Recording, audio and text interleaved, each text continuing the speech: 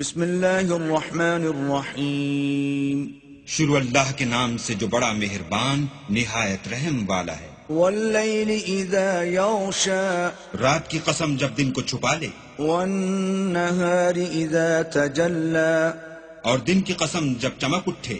وما خلق الذكر والأنثى اور اس ذات کی قسم جس نے نر اور مادہ پیدا کیے۔ إن سعيكم لشتى کہ تم لوگوں کی کوشش طرح طرح کی ہے۔ فأما من أعطى واتقى۔ تو جس نے اللہ کے رستے میں مال دیا اور پرہیزگاری کی۔ وصدق بالحسنى۔ اور نیک بات کو سچ جانا۔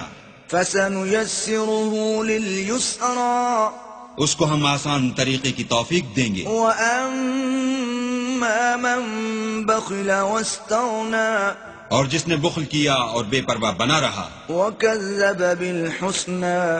اور نیک بات کو جھوٹ سمجھا فسنيسره للعسرى.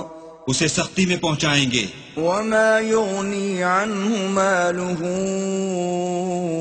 إذا تردى.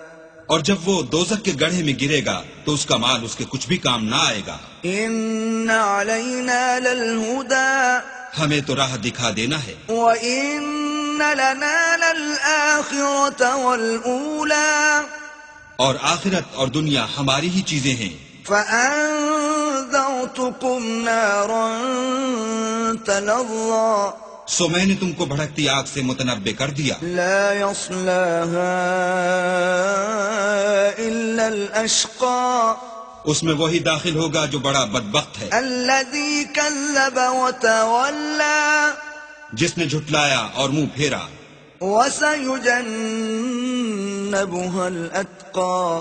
اور جو بڑا پرہیزگار ہے وہ اس سے بچا لیا جائے گا۔ الذي يؤتي ماله يتزكى.